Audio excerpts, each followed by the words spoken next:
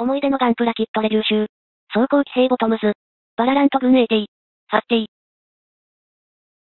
走行騎兵ボトムズとは、1983年から全52話が放送された、リアルロボットアニメの最高傑作と呼ばれるアニメ作品でござりまする。太陽の牙ダグラムからのリアル路線をさらに消化した結果、兵器としてのロボットのデザインはある意味完成されたと言ってよく、30年経った今でもなお色褪せない作品に仕上がっているのですよ。ガンダムが年を追うごとにごちゃごちゃしたデザインになっていく中、ボトムズのメカはシンプルなままなんで、かえって新鮮味があるんだよね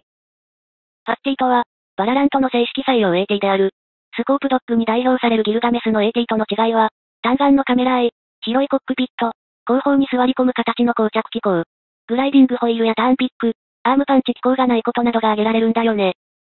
バララントの AT には謎の部分が多く、100年戦争の末期に、ギルガメスのスコープドッグに対抗して開発されたとか、仕様によってはスコープドッグの登場以前から存在したとか言われている機体なのですよ。基本的に宇宙用なんで、突撃ブースターを用いた集団戦法ではスコープドッグを圧倒することができるんだけど、その反面、地上戦では相手にならないんで、大抵の場合、地上用に特化したファッティが使用されたわけですよ。ボトムズファンなら常識だけど、ファッティっていうのはギルガメス側の呼び名で、要は、デブだからですよ。型式番号の BATM03 もギルガメスが付けたわけで、スコープドッグよりも大型で、ギルガメスの AT ならヘビー級に相当する機体にもかかわらず、ミッド級の性能しか持っていない機体ってことで、バララントの3機目のミッド級アーマードトルーパーの意味で付けられたものなんだよね。バララントではフロッカーってのが正式名称なんだけど、未だにフロッカーなんて呼んでるモデラーには会ったことがないんだよね第1話のプロローグに登場したブロッカーはたまに聞くけどね。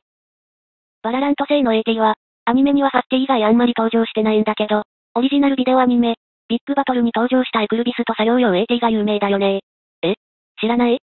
エイリアンみたいなやつと、捕まったフィアナが乗ったやつだよね。両方とも AT というより、レイズナーのスーパーパワードトレーサーみたいなデザインラインなんで、これじゃない感が半端ないんだよね。コアナボトムズファンは、陸戦型のファッティばかり作っているのだ